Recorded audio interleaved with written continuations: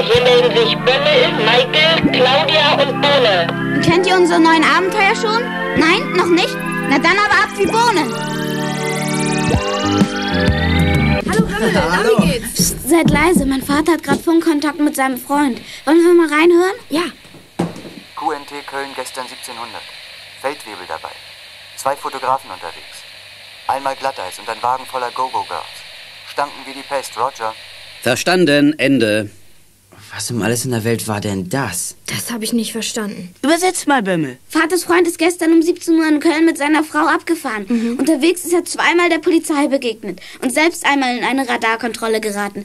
Die hat er mit Glatteis bezeichnet. Und die Gogo-Girls, die so stanken? Das sind Schweine in einem Transporter. Gibt es noch mehr von diesen komischen Bezeichnungen, Herr Jeitz? Und ob.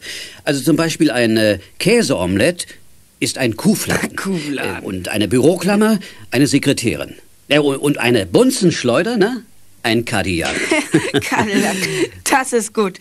Wir Funkfüchse wissen noch immer nicht genug über den CB-Funk. Zum Beispiel die Unterbrechung. Äh, Wenn jemand gerade spricht und man muss etwas Wichtiges mitteilen. Dann rufen wir Break. Äh, Damit äh, kann man sich nur einschalten, wenn beide sprechenden Stationen die Mikrofontaste freigegeben haben. Also, wenn das Band frei ist. Wenn einer Break ruft, während einer der Funker noch spricht, wird er nicht gehört? Ja, das stimmt. Aber falls man als korrekter Funker den Breakruf hört, gibt man so schnell wie möglich dem wartenden Partner die Möglichkeit, ins Gespräch einzusteigen. Ihr seht, wir müssen mit unseren Handsprechgeräten noch viel üben, bis wir wirklich gut sind. allerdings. Fromme Flöhe, funkenfähigen Füchsen, freilich flach, feucht und fahrig. Ach, warte, die sind schon bessere Sätze mit F über uns eingefallen. Flegel. Furchtbar. Flexibel. Fesselnd. Äh, Bömmel, du müsstest eigentlich zum Friseur. Deine rote Lockenpracht ist nun zu überwältigend geworden. Sieh dir bitte mal Michaels ordentlichen Scheitel an, hä? Oder Bohnes praktische Igelfrisur. Du kannst es ja auch mal mit dem Pferdeschwanz versuchen, Bömmel. Das wäre doch mal was. Gehabt euch wohl, mein Vater wird heute Abend noch eine Tour zu einer defekten Tankstellanlage machen müssen. Derweil bewache ich Telefon- und Funkanlage. Tschüss. Ciao.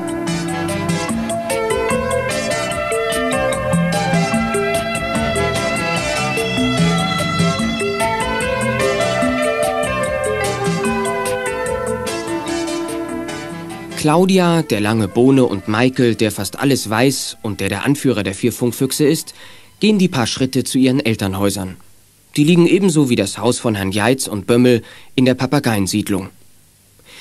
Als Claudia mit Bohne auf die Terrasse der Familie Becker tritt, da vermisst sie ihren Siamkater Schnurrel. Claudia hat das Tier als Baby in verwahrlostem Zustand geschenkt bekommen und seitdem sind die beiden unzertrennliche Freunde. Hey Bruderherz, hast du meinen Kater gesehen?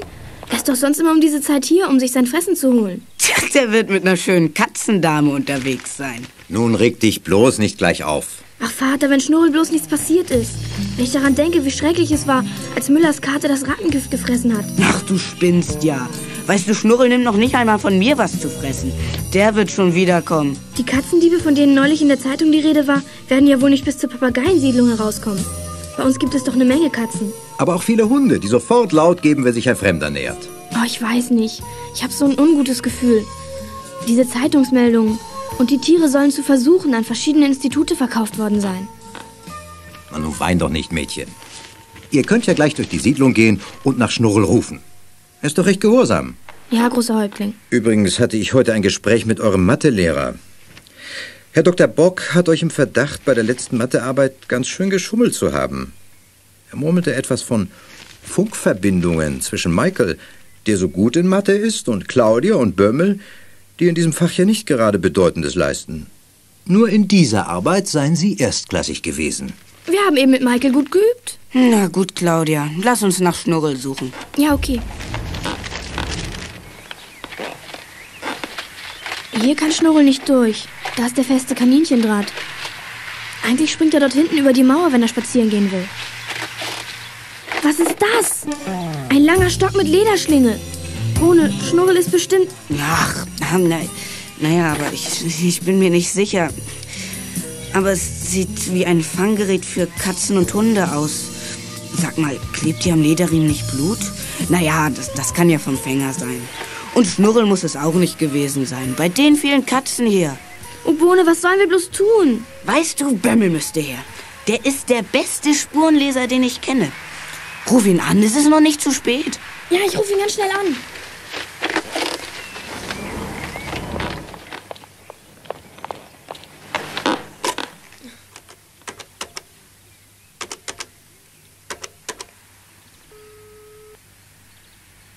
komm schon. Hier, Jochen Jeitz, guten Abend. Hallo Bömmel, hier spricht Claudia. Hey Schatz, was verschafft mir die Ehre deines Anrufs? Oh, Bömmel, du musst sofort herkommen. Es ist schrecklich ernst. Schnurrel ist verschwunden. Und wir haben im Garten so eine Art von Fanggerät gefunden. Oh, Bohne meint, es sind Blutspuren daran zu sehen. Kannst du nicht mal versuchen, Spuren im Garten oder so zu finden? Bin gleich da, kleiner Delfin. Bömmel spricht seine Klassenkameradin mit ihrem Spitznamen an. Claudia liebt nicht nur Delfine, sie schwimmt auch wie ein Delfin allen anderen davon. Während Bömmel unterwegs ist, leiht sich Claudia Vaters große Handlampe aus, denn inzwischen hat es zu dämmern begonnen. Freund Bömmel, im Funkverkehr Fuchs 1 genannt, folgt den Kindern seines Schuldirektors Becker in den Garten. Oh, du wirst die Kerle finden, versprichst du mir das, Bömmel? Wenn der Kerl eine Spur hinterlassen hat, werde ich sie finden. Hier haben wir das Dings gefunden, dieses, ähm, na, Fanggerät. Na, siehst du was? Ja, hier, seht euch das an.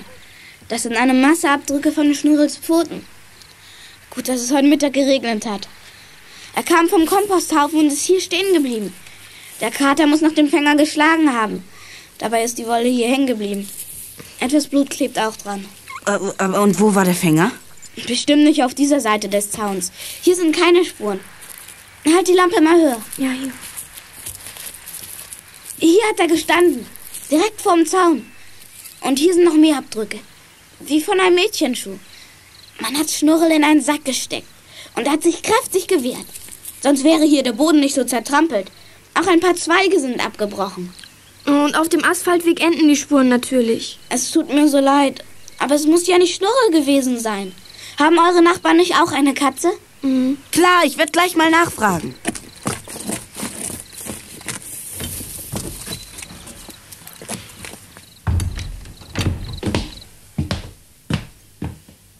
Tja, Zimmermann, Zimmer. Ah ja, da.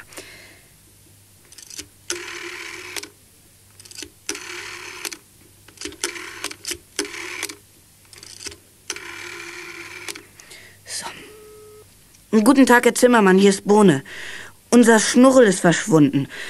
Und es sieht so aus, als sei jemand durch Ihren Garten bis zum Zaun gekommen und hätte den Kater entführt. Ich habe einen Jungen und ein Mädchen mit einem Sack im Garten beobachtet und verjagt. Das gibt's ja wissen Sie denn, wie die beiden aussahen? Ja, das Mädchen hatte einen roten Nicky an, trug einen Sack, bunte Mokassins und Jeans mit Herzchenflicken auf den Knien.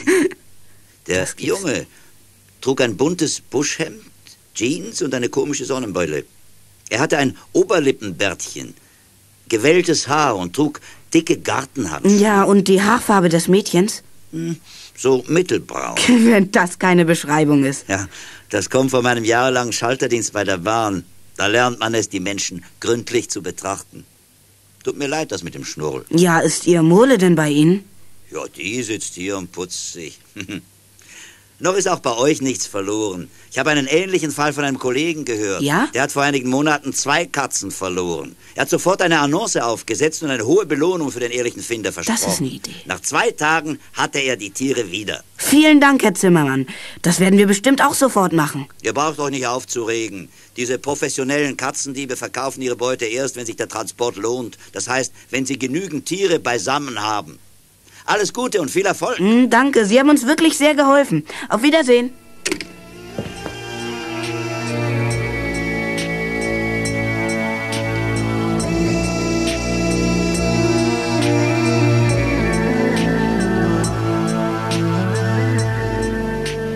Claudia ist ganz verzweifelt.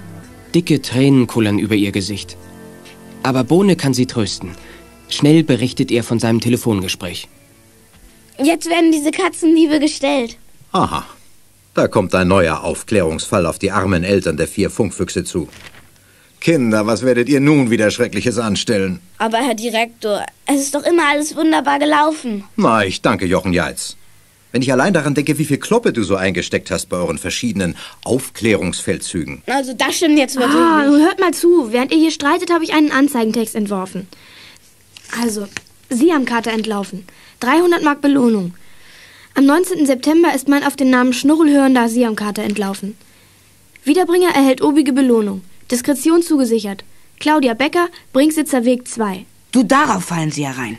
300 Mark ist schließlich eine Menge Geld. Das sind meine ganzen Ersparnisse. Weißt du auch, was so eine Anzeige kostet? Sicher 40 Mark. Oh, das habe ich nicht mehr. Na, ich leiste. Nein, nein, ich. Also Kinder, ihr schmeißt mit dem Geld rum, als würde es morgen aus der Mode kommen. Ja, möchtest du denn nicht, dass wir Schnurrel wiederbekommen? Natürlich will ich das. Und damit du siehst, dass es mir damit ernst ist, hier sind 40 Mark. Oh, wie großzügig. Ah, danke, großer Häuptling. Das war der fettigste Kuss meines Lebens. Die Kinder sprechen noch ihren Anzeigentext auf den Anrufbeantworter der Zeitung und vergessen nicht, die Telefonnummer von Beckers anzugeben. Dann gehen alle zu Bett. Als am nächsten Morgen Michael von den Vorkommnissen hört, entwickelt er einen seiner unschlagbaren Pläne. Nachmittags finden sich Michael und Claudia in der Lokalredaktion der Zeitung ein. Später treffen sie sich dann mit Bömmel und Bohne. Hallo Bömmel und Bohne. Na, wie Schon geht's? auf uns gewartet? Klar. Ah, die Lokalredakteurin war furchtbar nett zu uns. Ja, erzähl mal. Es gibt schon eine Akte über die bisher gemeldeten Katzendiebstähle. Einmal hat man die Täter sogar verfolgt. Es handelte sich um ein Mädchen von etwa 16 und einen Burschen von ungefähr 20 Jahren. Das ist genau wie Herr Zimmermann das gesagt hat. Frau Bese, so heißt die Journalistin, wusste auch eine Menge über diese Händler und die Institute, die Versuchstiere aufkaufen. Also sie meint, denen wäre es ganz egal, woher die Tiere kommen. Und sicher wüssten die, dass die meisten Tiere gestohlen sind. Ja, und sie denkt, dass die Händler kleine Gruppen von Katzendieben an der Hand haben. Die werden dann in größeren Mengen abtransportiert und verkauft. Dann müssten die Händler doch irgendwelche Lager haben, wo die Tiere vor dem Verkauf gesammelt werden. Also Michael hat auf dem Stadtplan die Stellen eingezeichnet, von denen aus die Katzen verschwunden sind. Ja, genau. Und, und so habe ich zusammen mit Frau Bese herausgefunden, dass die meisten Diebstähle um den alten Steinbruch herum ausgeführt worden sind. Der alte Steinbruch. Richtig. Frau Bese hat uns aber auch gewarnt. Erstens davor, dass dort bereits zweimal Kinder beim Herumklettern abgestürzt sind. Ja, und zweitens ist der Steinbruch gesperrt. Und sie sagte auch, wir sollten erst die Reaktion auf unsere Anzeige abwarten, damit die Täter auf keinen Fall gewarnt werden. Na, dann werden wir auch bald wieder in die Zeitung kommen. Wenn wir unsere Geschichte erfolgreich abgeschlossen haben. Wieso nicht? Oh, wenn wir bloß schon so weit wären. Mein lieber armer Schnurri. Nicht jammern, sondern handeln. Wir fahren zum Steinbruch und schauen uns da mal gründlich um. Genau.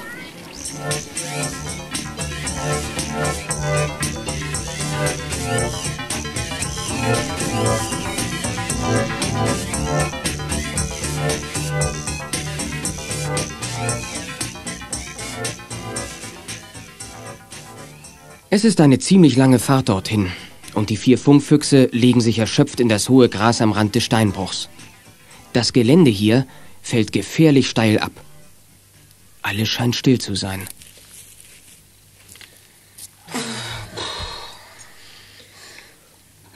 Ich glaube, da unten gibt's keine Menschenseele. Denkst du, dort hinten am Zaun ist eine große schwarze Hundeseele samt Mann. Der scheint den Zaun zu reparieren. Ja, aber die Gelegenheit ist günstig. Passt auf. Ich renne nach unten und sehe nach, ob dort etwas ist.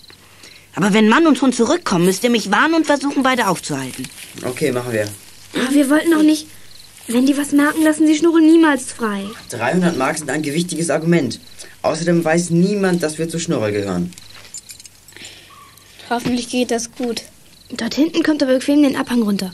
Dann ist er gleich bei der Baracke. Da ist er ja schon. Ich wundere mich immer wieder über Bones Tempo. Mensch, jetzt schmeißt das Steinchen an das Fenster der Baracke. Da ist wirklich niemand drin. Hey, wo kommt denn der dicke Kerl plötzlich her? Jetzt geht's Bohne an den Kragen. Der ist ja viel größer als er. Ja, denk an Bones Judo-Künste. Siehst du? Schon hat er ihn runtergekriegt. Ein Glück. Das ist das Signal für den Mann mit dem Hund. Hoffentlich ist er nicht scharf und erwischt Bohne. Los, wir müssen ihn ablenken. Ja, los. Das bringt Spaß. Los, hey, schubst mich nicht. Mann, pass Ja. auf. Ah, ja, das ist gut. Los. Geschafft, sie laufen auf uns zu. Jetzt kann Bohne sich verdrücken. Und für uns wird es auch Zeit, dass wir uns verkrümeln. Ja, los, allerdings. Nun hebt eine wilde Jagd an. Während Bohne sich in Sicherheit bringt, indem er den steilen Abhang hinaufkriecht und sich im Gebüsch versteckt, laufen die drei übrigen Funkfüchse zum Zaun, über den sie vorhin geklettert sind. Bömmel und Michael sind schnell auf der anderen Seite, aber Claudia stürzt und sieht beim Aufstehen, dass der Hund sich ihr gefährlich genähert hat. Hinter ihm her hetzt ein alter, dünner Mann, der mit dem Tempo des Hundes kaum Schritt halten kann. Jetzt hat der Hund sich losgerissen. Claudia merkt, dass sie nicht mehr entkommen kann. Sie bleibt plötzlich stehen und dreht sich um. Hey, Schwarzer. Wo ist denn das liebe Hundchen? Du bist aber ein schöner Kerl. Und hier habe ich was Schönes für dich. Kandiszucker, braun und knackig. Siehst du? So, ja, so ist fein. Ja, bravo. Hey, Harro! Wo bist du? Hast mich umgeschmissen, du Viech, du! Haro, gutes Tier. Komm, lass dich kraulen, hm? Ja, so. Ein feiner Hund. Haben Sie sich wehgetan? Die hätte ich umbringen können, Menschenskind. Er ist verdammt scharf. Ja, das habe ich gemerkt. Und meine beiden Freunde sind auch gleich ausgekniffen. Ihr wolltet nur die Tiere stehlen. Sherry hat es mir gesagt. Alle, die hierher kommen, wollen die Tiere stehlen. Das dürfen Sie von uns nicht denken, Herr. Ähm, Ich bin Opa Steinke, der Wächter. wir würden niemals Tiere stehlen, Opa Steinke. Ich werde einmal Tierpflegerin oder Tierärztin. Auch Harro hat gleich erkannt, dass ich eine Tierfreundin bin. Wir wollten übrigens nach seltenen Kräutern für die Biologiestunde suchen. Dort unten ist er. Macht bloß, dass ihr wegkommt. Wenn Sherry euch erwischt, macht er euch restlos zur Minna. Ja, Opa Steinke. Wiedersehen.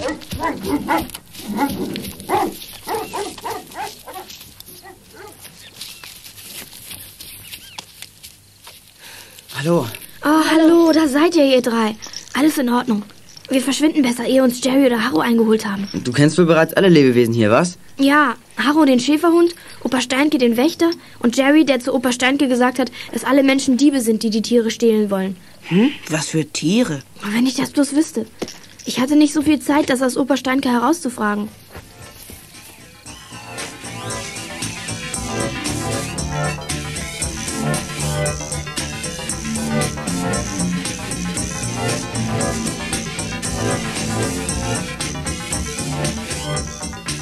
Die Funkfüchse radeln zurück in die Papageiensiedlung. Am nächsten Tag wird Claudia aufgefordert, in der Schulpause ins Direktorenzimmer zu kommen. Na, das verheißt nichts Gutes.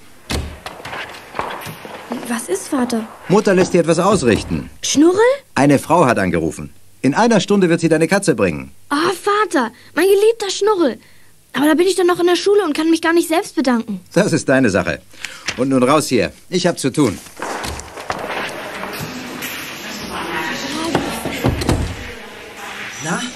War's? Hey, habt ihr mich verfolgt?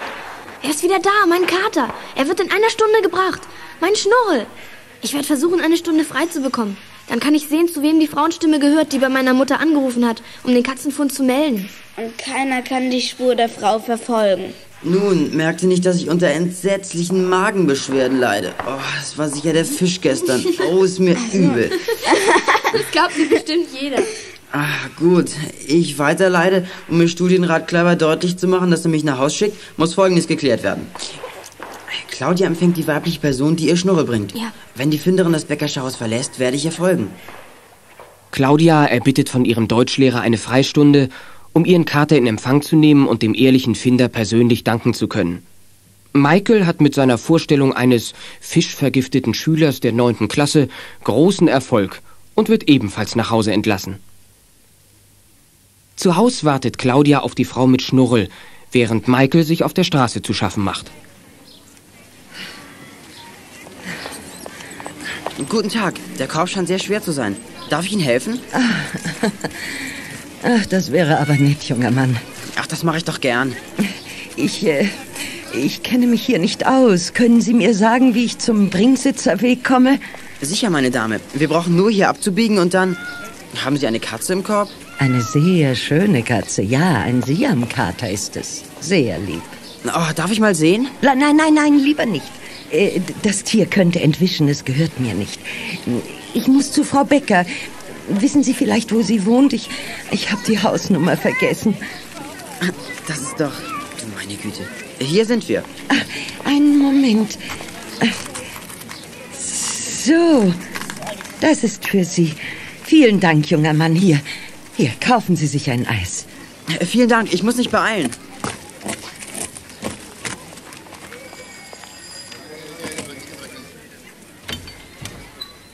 Ja, bitte?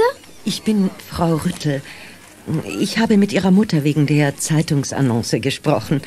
Ja, haben Sie Schnurrel denn nicht mitgebracht? Doch, gewiss. Schauen Sie doch einmal in den Korb dort unten. Ja, Moment. Hallo. Ja, wie geht's denn? Ja, hallo, Matissa. Ach, entschuldigen Sie. Wollen Sie nicht hereinkommen, bitte? Nehmen Sie doch bitte Platz. Wo haben Sie Schnurrel eigentlich gefunden? Ja, das war so. Als meine Enkelin Katrin heute Morgen zu mir zum Frühstück kam, da hörte sie in meinem Geräteschuppen das Gemaunze einer Katze. Wir fanden in einem alten Sack den Kater hier. Ich wollte ihn ins Tierasyl bringen, aber Katrin schlug vor, erst einmal in der Zeitung nachzusehen, ob jemand vielleicht das Katertier vermisst. Ja, auf diese Weise bin ich gleich auf ihre Adresse gestoßen. Ich habe dann gleich hier angerufen. Katrin meinte, mir stünde die Belohnung zu. Ach ja, entschuldigen Sie bitte. Ich komme sofort.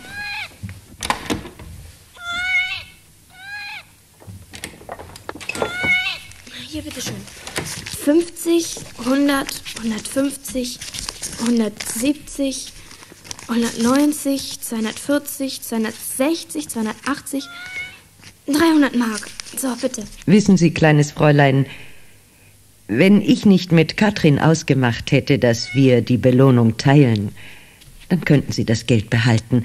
So aber muss ich um 150 Mark bitten. Für Katrin. Nein, Frau Rüttel, so war es abgemacht. Wo wohnt denn Ihre Enkelin? Ich möchte mich auch bei ihr gern bedanken. Schließlich hat sie Schnurre zuerst gehört. Wer weiß, wie lange er sonst dort geschmachtet hätte. Das stimmt. Ich gehe selten in den Schuppen.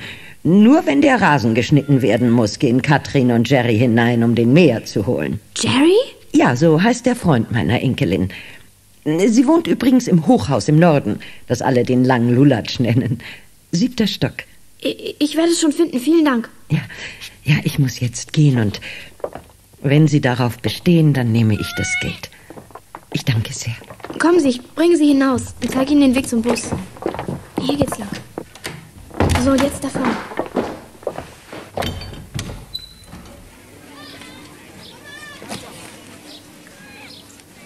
Was ist? Warum hast du abgewinkt, als ich der alten Dame hinterhergehen Komm wollte? rein. Sie berichtet Michael von dem Gespräch mit der reizenden alten Dame. Michael ist zufrieden, dass Claudia Katrins Adresse hat. Stutzig macht die Freundin nur der Name Jerry. Jerry? Von dem sagte doch Opa Steinke, er würde uns zur Schnecke machen, wenn wir nicht vom Steinbruch verschwenden.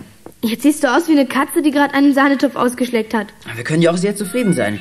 Ich frisse einen Besen quer, wenn wir nicht ins Volle gegriffen haben. Tja, jetzt ist es für die Schule leider zu spät. Lass uns zur Bushaltestelle gehen und Bömmel und Bohne abholen. Okay. Die werden bestimmt wissen wollen, wie die Sache abgelaufen ist.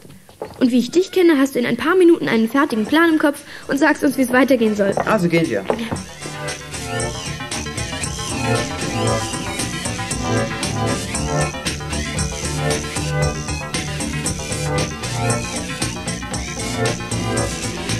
Also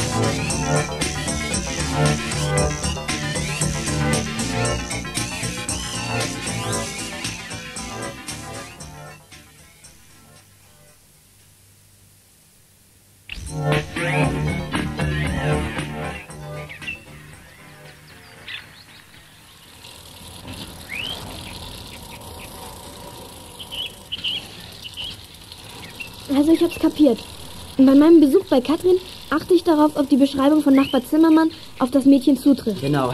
Später muss ich versuchen, Jerry aus dem Steinbruch vorzulocken, Ja. damit Michael und Bohne sich umsehen können, okay? Ich bewache dich, Claudia. Die Handwerker bereit, um eventuell Michael und Bohne zur Hilfe zu rufen. Ja. Wie gut, dass die Wohnung von Katrin und der Steinbruch dicht zusammenliegen. Claudia und Bämmel bleiben also hier beim langen Lulatsch. Wir beide fahren weiter bis zum Steinbruch. Dort treffen wir uns, wenn Claudias Mission bei Katrin beendet ist. Und vergesst nicht, die Handgurken in Bereitschaft zu haben. Wir werden jedenfalls zunächst auf Empfang bleiben. Und bis später. Keine Sorge, Bohne und Michael. Ich passe auf unseren Delfin schon auf. Alles klar. Meldet euch, sobald ihr im Steinbruch angekommen seid. Ich gehe jetzt hinein und suche Katrin Rüttel.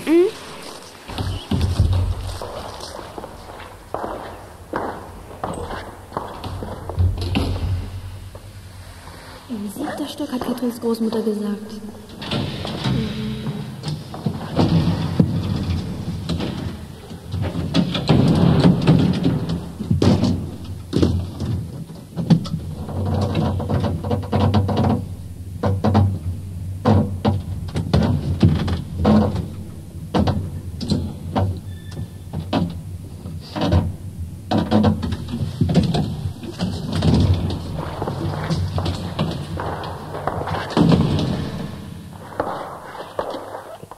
Rüttel, hier.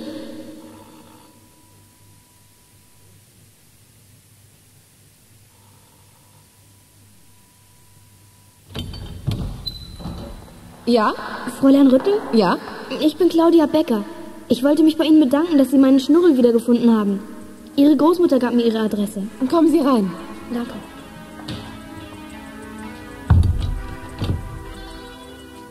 Sie haben es aber schön hier. Und die Aussicht. Ganz schön, ja. Und vor allem teuer. Also noch einmal vielen Dank, dass Sie Schnurre gefunden haben. Wir alle in der Papageiensiedlung haben umfangreiche Sicherungsvorkehrungen getroffen, damit die Katzendiebe nicht nochmal zuschlagen können. Hm. Warum bezahlen Sie bloß so viel Geld für eine Katze? Man kann doch immer eine neue haben. Wissen Sie, für mich ist Schnurrel ein lebender Gefährte. Ich habe ihn als winziges, krankes Wollknäuel bekommen und ihn gesund gepflegt. Er kennt mich und hat mich gern. Na gut, ich könnte mich nie so an ein Tier gewöhnen. Ich muss mich jetzt fertig machen. Mein Verlobter Jerry kommt gleich. Dann will ich nicht mehr stören. Nochmals vielen Dank. Auf Wiedersehen. Auf Wiedersehen. Schließlich haben Sie ja Geld dafür bezahlt.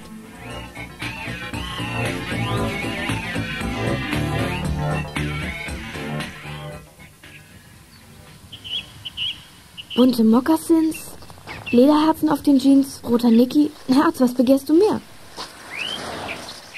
Gut, dass du kommst. Michael hat bereits gemeldet, dass Jerry den Steinbruch verlassen hat. Ich weiß. Er will seine Braut Katrin besuchen. Die Katzendiebin hat es mir verraten. Ist sie es? Mit Sicherheit. Genauso hat sie Herr Zimmermann beschrieben. Mhm. Nur ist sie sicher zwei Jahre älter, als er dachte. Funkfuchs 1 an alle Füchse. Claudia ist zurück.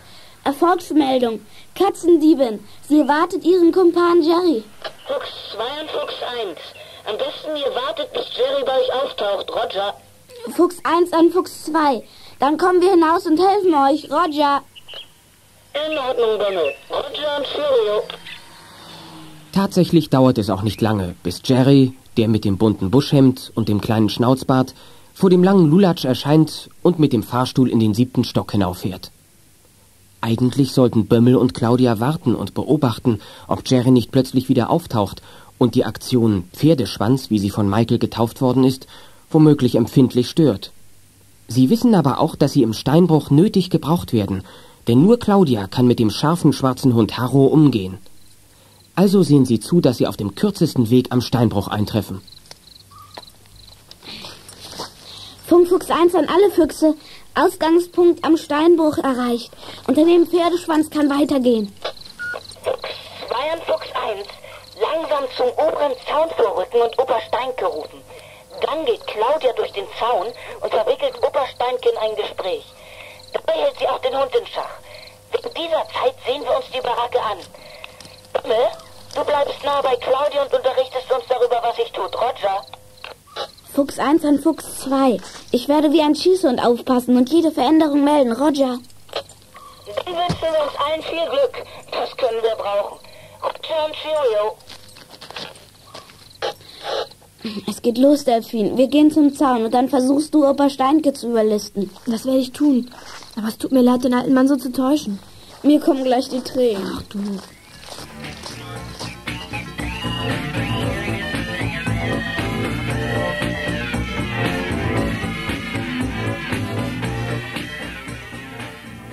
Claudia muss lange rufen, ehe der alte Wächter sie hört.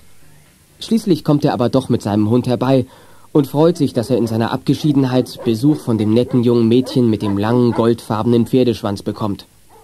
Auch Harro ist glücklich über seine neue Freundin, die wieder viele große Kandisbrocken für ihn mitgebracht hat. Bald sitzen Opa Steinke und Claudia einträchtig auf einem großen Felsbrocken.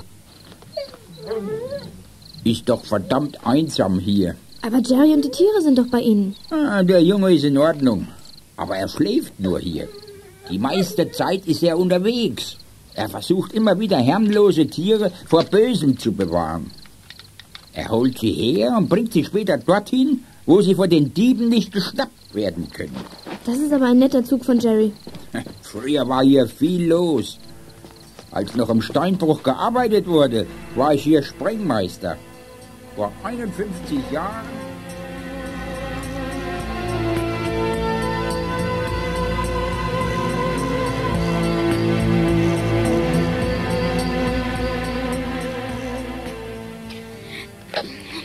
Funkfuchs 1 an alle Füchse.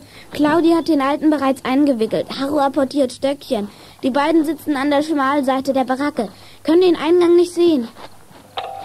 Fuchs 2 und Fuchs 1. Wir gehen jetzt rein. Aufpassen, alles melden, was sonst noch passiert. Roger. Geht klar, ich werde alles berichten. Von dem hohen, ausgeblühten Ginstergut abgedeckt, arbeiten sich Michael und Bohne an die Baracke heran und finden bald ein offenstehendes Fenster neben dem Eingang. Sie sehen eine Tür, durch die sie in einen Nebenraum schleichen. Puh, das ist ja nicht auszuhalten. Wie das stinkt. Mann, sieh dir das an. Vier, sechs, acht, elf Käfige voller Katzen. Schau dir diese Tiere an. In wenigen Tagen sind sie verschwunden und erleben eine Hölle in den Versuchslaboratorien. Wir werden sie jetzt freilassen und dann warten, bis Jerry zurückkommt. Den möchte ich gern richtig fertig machen. Das werden wir nicht tun. Wir werden vielmehr von hier aus den Kerl finden, der alle diese Katzen aufkauft und wegschafft. Dann erst werden wir die Polizei verständigen und zur Zeitung gehen, damit dieser ganze Schwindel auffliegt. Ja, ja, du hast recht. Was nutzt es, wenn wir diesen einen Fänger schnappen und der große Mann dahinter bleibt unbekannt? Los, komm raus jetzt.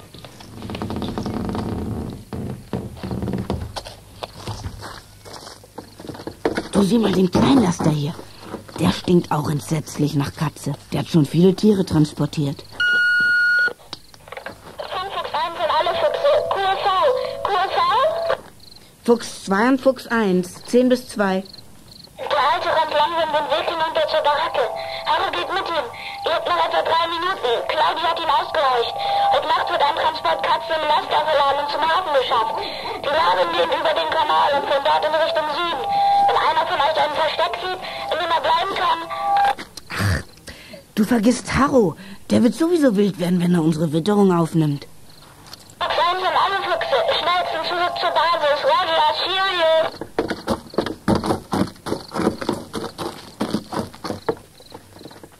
Heute Abend werden wir wohl Wache schieben müssen am Hafen.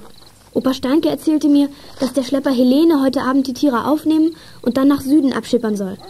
Vater ist zu einer Tagung unterwegs. Mit Mutti werden wir schon fertig. Und der meinige ist heute spät unterwegs. Es sind einige Tankstellen zu inspizieren.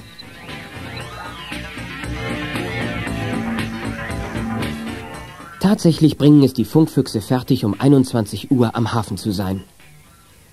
Nachdem sie den Liegeplatz der Helene ausfindig gemacht haben, suchen sie sich ein sicheres Versteck und warten ab, was passieren wird. Wenn sie nicht bald kommen, sehe ich Black. Du bist einfach zu ungeduldig. Still mal, ich höre was. Was denn? Warte, ich schau nach. Da hinten ein Auto. Michael, wenn du dein Fernglas nimmst und hier in die Richtung schaust. Wo? Da, guck. Ja, richtig. Ja. Da steigt einer aus. Das ist Jerry. Ich sehe sein Bärtchen. Ja. Auf dem Schlepper geht das Licht an. Da guckt einer aus der Luke. Erlaubnis zum Machen ist nicht bekommen. Wegen der verderblichen Wahrheit. Raus mit euch und angepackt. Da kommen ja Opa Stanke und Katrin heraus.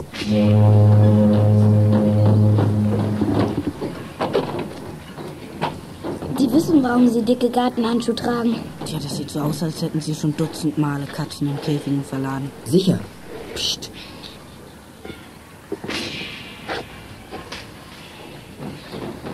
Dem Schlepper holen sie jetzt Kisten. Die scheinen leer zu sein.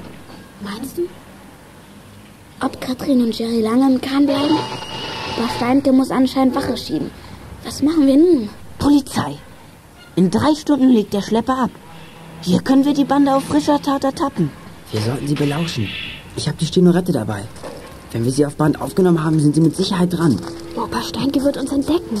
Nee, nimm mal das Glas, Delfin. Mir scheint, er schläft. Wir wollen es versuchen. Auf jeden Fall müssen wir gut in Deckung bleiben. Ich finde, wir sollten jetzt die Polizei verständigen. Bömmel, geh du bis zur Hauptverwaltung vor. Dort wartest du an der Telefonzelle, bis wir dir Bescheid geben. Dann kannst du anrufen. In Ordnung, ich verschwinde, aber lasst mich nicht so lange warten. Höchstens eine halbe Stunde. Wenn du bis dahin nichts von uns gehört hast, verständigst du auf alle Fälle die Polizei. Denk dran, dass du ihnen sagst, wo das Versteck der Bande ist. Habe ich vielleicht eine Meise? Bis dann, Füchse. Ich schleich mich jetzt mit der Stenorette an Bord und versuche etwas aufzunehmen. Vielleicht habe ich ja Glück. Jetzt haben sie ihn bestimmt gehört. Was soll ich? Michael hat abgewinkt, ich soll hier bleiben. Bohne, was meinst du? Wie wär's, wenn wir alle Katzen freiließen? Das wäre der Knüller. Nein, Käfig müssten wir besetzt lassen, damit die Polizei sieht, dass wir die Wahrheit gemeldet haben.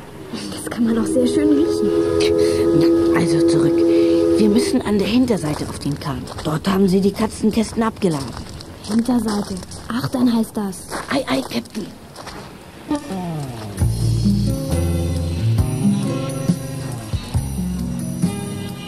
Eine schmale Eisenleiter führt in den Bauch des Kahns. Um den Katzen das Herausklettern zu ermöglichen, wuchten Bohne und Claudia ein Brett in die richtige Lage. Schnell tragen sie den ersten Käfig an das Brett heran und öffnen die Tür.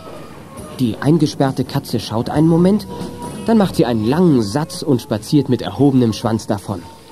Schon sind neun Katzen in Freiheit. Die zehnte jedoch, die nimmt die falsche Richtung und verschwindet wieder im Bauch des Schleppers. Hierher, Pussy, komm.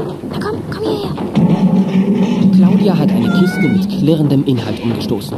Nun ist der Teufel los. Opa Steinke ist aufgewacht und verlässt so schnell er kann das Auto und humpelt zum Schiff. Oh, da sind sie. Die Diebe. Na, ich werde dich das Handwerk lesen. Kriecht hier herum. Da. Eine Katze. Noch eine. Hey. Ah, da unten im Schlepper ist wer. Euch will ich helfen. Wo ist die Kurbel? So. So. Jetzt ist alles dicht. Keine Maus, keine Katz und kein Dieb kann das Schiff jetzt verlassen. Sherry muss schnell Bescheid bekommen, dass gleich die Polizei gerufen werden muss. Aber hier unten müssen Sherry und Hein doch sein. Hey! Sherry! Hey, wer ist das denn? Ah, ich falle. Aua. Ah, ah. Wen habt ihr denn da? Wie kommst du denn hierher? Ich sah den Wagen oben stehen und das Standlicht brannte noch. Ja, da wollte ich Ihnen Bescheid sagen, sonst geht vielleicht die Batterie leer. Du darfst ihm kein Wort glauben, Sherry. Er gehört zu den Katzendieben. Zwei habe ich achtern eingesperrt. Sie haben schon ein paar Katzen freigelassen. Was? Wer? Was wolltet ihr wirklich hier? Du brauchst keine Angst zu haben, wir werden euch nichts tun. Sie wollten sie stehlen. Ich hab's verhindert. Gut gemacht, Alter. Und nun zu dir. Wir werden euch auseinandernehmen, wenn ihr nicht sofort sagt, was hier gespielt wird. Gespielt? Gespielt wird hier gleich überhaupt nichts mehr, denn in fünf Minuten ist die Polizei hier. Einer unserer Freunde ruft in diesen Minuten von der Hauptverwaltung aus die Polizei an. Lügner, dreckiger, elender Lügner. Ich spreche die Wahrheit, aber ihr seid dreckige Katzendiebe, die fremden Leuten die Katzen stehlen und sie dann an die Versuchsanstalten verscherbeln, wo sie elendig zugrunde gehen. Das ist nicht wahr. Ihr seid es, die die Katze stehlen. Wir retten sie nur. Umgekehrt ist es richtig, Opa Steinke. Das könnte Ihnen auch Claudia erzählen, die an Sie am Kater die Bande hier gestohlen hat. Hier, hören Sie mal mein Band an. Eben aufgenommen. Michael holt sein Diktiergerät aus der Tasche. Er hat vorhin das Gespräch zwischen Jerry und Katrin aufgenommen. Und nun hört Opa Steinke, wie sich die beiden jungen Menschen, denen er vertraut hatte, über den Preis der Katzen unterhalten und sich kaltschneuzig über den Einwand des Schiffers hinwegsetzen.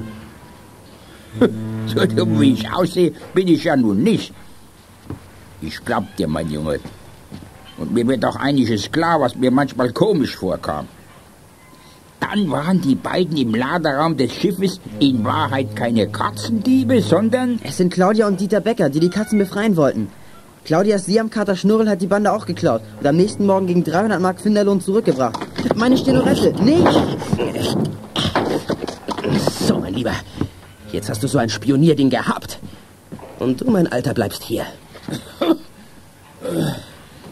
Oh, hier ist mir die Luft zu dick, pfui Teufel. Los, Jerry, wir müssen alles aus dem Steinbruch holen, was uns verraten könnte.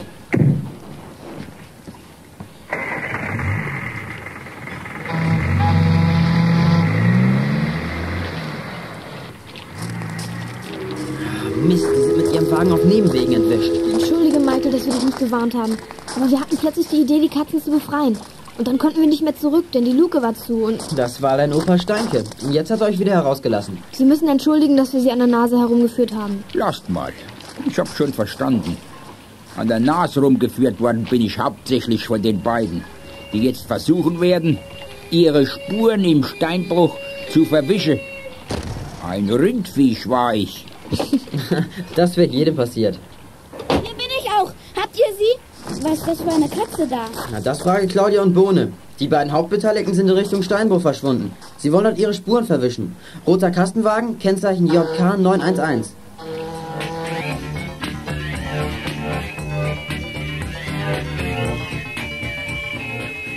Der Streifenwagenführer benachrichtigt seine Kollegen und schickt sie direkt zum Steinbruch.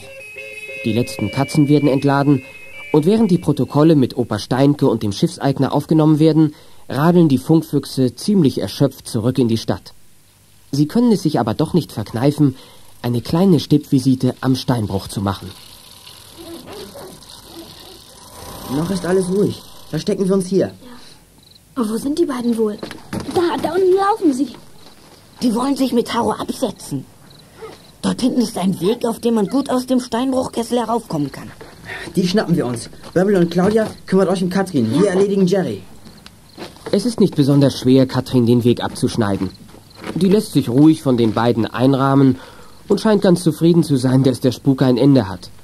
Harro vergisst vor lauter Freude über Claudia, sich an Bömmel zu stören und ihn anzukläffen. Bohne und Michael verfolgen inzwischen Jerry. Verdammt, der Kerl ist schnell. Jetzt! Bleib stehen, Kerl! Mensch, Vorsicht, hier geht's nicht weiter. Bist du verrückt? Jerry hat sich wiederholt nach den beiden Funkfüchsen umgesehen. Dabei hat er in der Dunkelheit nicht bemerkt, wie nahe er dem steilen Abhang des Steinbruchs gekommen ist. Plötzlich ist er verschwunden. Ist der... Nein, ich habe keinen Aufprall gehört. Er muss irgendwo hängen geblieben sein. Vorsicht beim Nachsehen. Wir müssen uns Schritt für Schritt auf den Steilang zubewegen. Auf den Bauch. Ja. Festhalten. Festhalten. Mensch, der hängt an einem Strauch. Lang hält er es nicht aus. Verdammt, aber wie können wir ihn erreichen? Das sind mindestens drei Meter bis zu ihm. Funkfüchse, schnell, hierher. Auweih, was nun? Da drüben liegt Stangenholz. Katrin, hilf mit. Ich hol die Polizisten zur Hilfe. Hilfe ist unterwegs, wir holen dich herauf. Ja, nur noch ganz kurze Zeit. Der mit den Stangen. Ja. Ja, so geht es. Flach hinlegen, Jungs. Und dann langsam runter mit den Stangen, nicht zu schnell. Und nicht zu weit nach unten. Sonst verlieren wir die Gewalt über das Holz. Ja, noch ein Stück.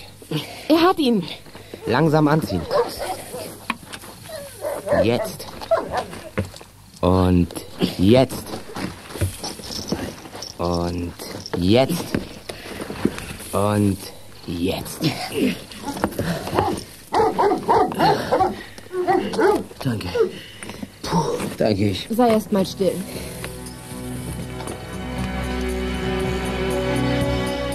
Katrin und Jerry steigen in den Streifenwagen und die Funkfüchse klettern auf ihre Räder. Sie sind sehr zufrieden mit sich und sehen auch dem unvermeidlichen häuslichen Donnerwetter mit einiger Ruhe entgegen. Meine Damen und Herren, es folgt eine verfrühte Literaturstunde. Oh je. Vor dem Frühstück soll das besonders gesund sein. Was? Großer Häuptling will Ruhe. Ihnen zu scherzen. Ich beginne. Überschrift Katzendiebe haben keine Chance. Oh, Mann. Von unserer Lokalredakteurin Renate Bese. Wieder einmal ist es Kindern aus unserer Gemeinde gelungen, einem bitterbösen Treiben ein Ende zu bereiten. Wie die Polizei gestern mitteilte, haben Jugendliche, die sich in ihrer Freizeit mit dem Hobby-CB-Funk beschäftigen, einer Bande von Katzendieben das Handwerk gelegt. Die vier Funkfüchse, wie sie sich nennen, konnten der Polizei genügend Beweise dafür liefern, dass laufend Katzen gestohlen und zu Versuchszwecken an auswärtige Laboratorien verkauft wurden. Stimmt. Der Hauptorganisator dieses schändlichen Tuns, Jerry M., gab sein Leugnen auf, nachdem er mit seinen Aussagen konfrontiert worden war. Das Band mit den verräterischen Äußerungen konnte unbeschädigt aus einem von Jerry M. zerstörten Aufnahmegerät geholt werden. So, und nun ab in die Schule. Ihr müsst den Bus nehmen. Ich arbeite heute hier. Und hängst an die Tür deines Zimmers das berühmte Schild Störung nur in Notfällen, Brand, Diebstahl des Autos, Erdbeben und Eintreffen des Geldbriefträgers. Richtig. Geh mal bitte, Claudia. Ja. Claudia Becker hier, guten Morgen. Kommissar Derek hier. Ich suche für meinen nächsten Krimi eine jugendliche Hauptdarstellerin, die mit Katzen vertraut ist und die... Und die mit einem Scheuerbesen umgehen kann, um dir damit das Feld zu gerben, Michael Dummer genannt Michael. Du hast mich erkannt? Klar. Oh, ich hielt mich für sehr witzig. Naja. Meine Mutter fragt, ob sie für das morgige Sonntagsfest bei Beckers, das anlässlich der Wiedergeburt von Schnurre, des Einfangs der Katzendiebe, der neuen Berühmtheit der Funkfüchse durch die Zeitung, des guten Wetters, der Freundschaft mit Opa Steinke und anlässlich der besonders freundschaftlichen Gefühle, die Michael Dummer für Claudia Becker hegt, Hm. also ob sie einen schönen großen Obstsalat stiften darf. Kuchen backst du ja sicher selber, wie ich dich kenne. Sag deiner Mutter vielen Dank. Und meine Eltern würden sich freuen, wenn deine Eltern und Bömmels Vater auch kommen würden. Toll, ich werde es ausrichten. Bis gleich dann. Tschüss.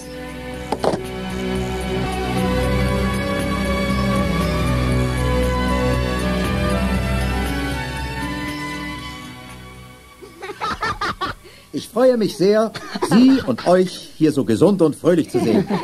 Hoffentlich wird es ein schöner Nachmittag und Abend. Wir Eltern sind froh, dass unsere unternehmungslustigen Funkfüchse ein weiteres Mal heil in die Elternhäuser zurückgekehrt sind. Schnurrel ist auch schon wieder in Ordnung. Vorhin hat er zusammen mit Zimmermanns Murle alle Federbälle gefangen und verschleppt. Es möge uns gut schmecken. Selbst Bömmel wird zufrieden sein.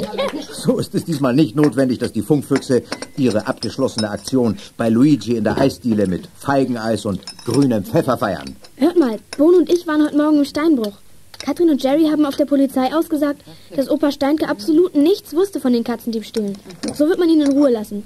Das freut mich sehr. Und die schöne große Angora-Katze, erinnerst du dich, Michael? Die bleibt bei ihm. Die Besitzer hatten sich schon eine neue Katze besorgt und die alte ihm geschenkt. Harre und die weiße Katze lagen zusammen in einem Korb. Ich gehe schon.